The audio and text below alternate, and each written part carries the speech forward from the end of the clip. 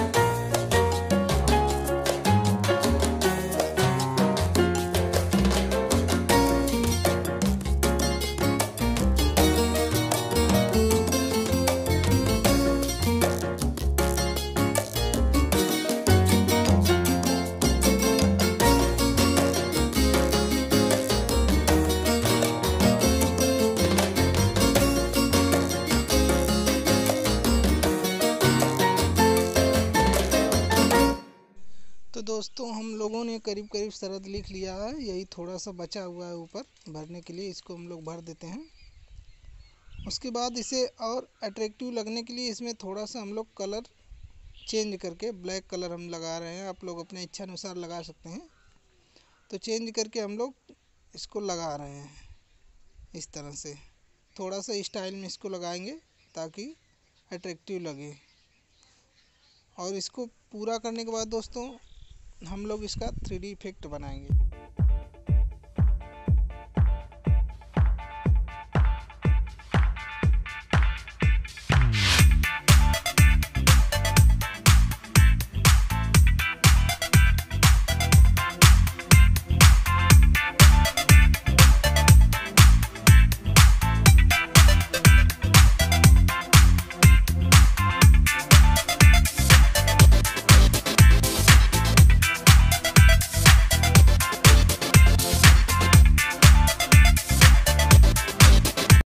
देखिए दोस्तों, ये डिज़ाइन कंप्लीट हो गई है।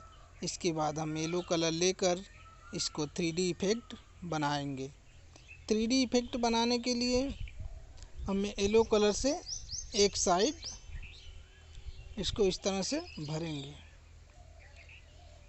येलो कलर दोस्तों, हम लोग सब में लगा देंगे इस तरह से। देख लीजिए, आप लोग ध्यान से देखेंगे तो बहुत जल्दी सीख जाएँगे किस तरह से लगाया जा रहा है। आप लोग देखिए। इसके बाद हम लोग वाइट कलर लेंगे और बाकी जगह जो बचेगी उसमें लगाएँगे।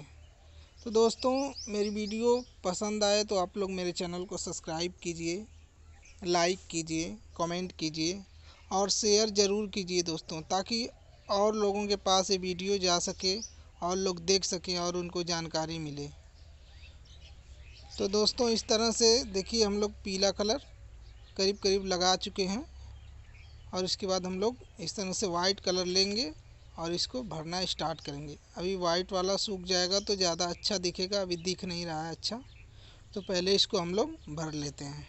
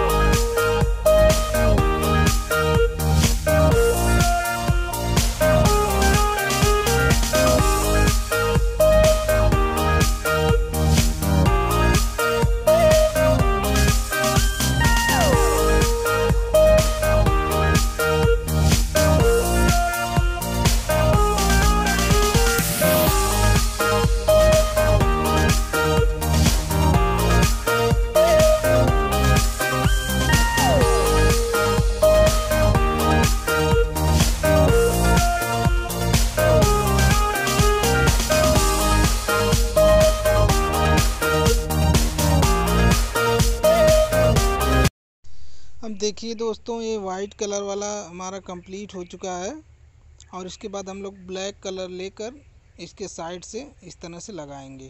देखिए आप लोग, इस तरह से हम सब में ब्लैक कलर लगा देंगे और लगाने के बाद देखिएगा आप लोग बहुत ही सुंदर लगेगा और इसको हम थोड़ी देर के लिए सूखने के लिए छोड़ देंगे और उसके बाद थोड़ा सा हम आपको दिखाएँगे कि सूखने के बाद ये किस तरह से दिखता है। तो देखिए दोस्तों, ये ब्लैक वाला हमारा कंप्लीट हो गया है। अब देखिए, सूखने के बाद